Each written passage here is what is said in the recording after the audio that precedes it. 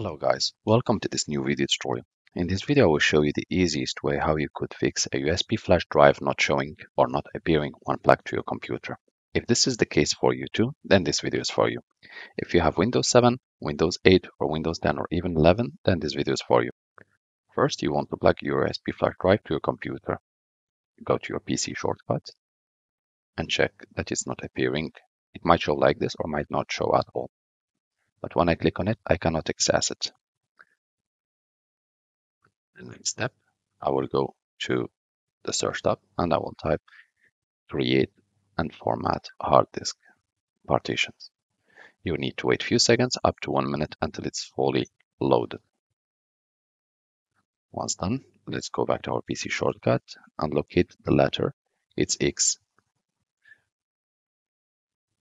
Here I have it, removable disk 2x it's online. So click on the black one and allocate it click with the right button of the mouse select new simple volume next next and here assign the letter. I will choose Z. Next I will choose FAT32 I will name it let's say SSD and I will click next. Finish.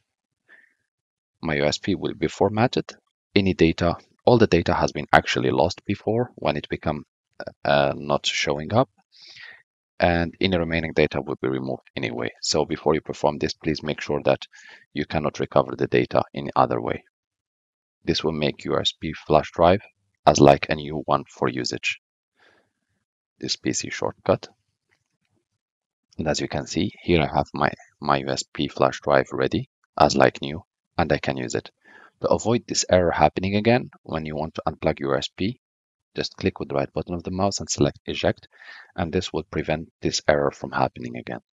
Thank you for watching and talk to you soon in a new